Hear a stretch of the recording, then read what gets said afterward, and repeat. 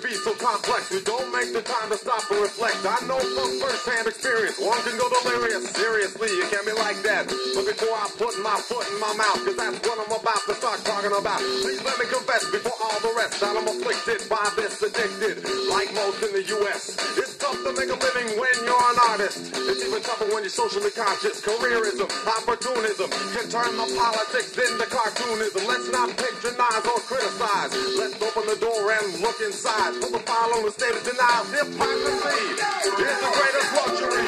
Raise the double standard. Hypocrisy is the greatest luxury. Raise the double standard. Hypocrisy is the greatest luxury. Raise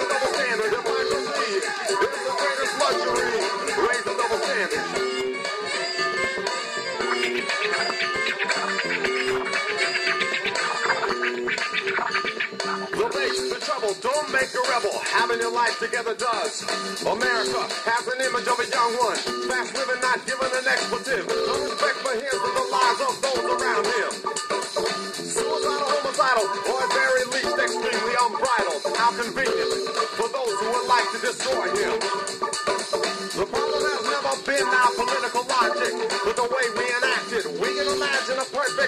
Society that can't maintain a decent relationship. The failure found in the luxury, not in the hardship. Hypocrisy is the greatest luxury.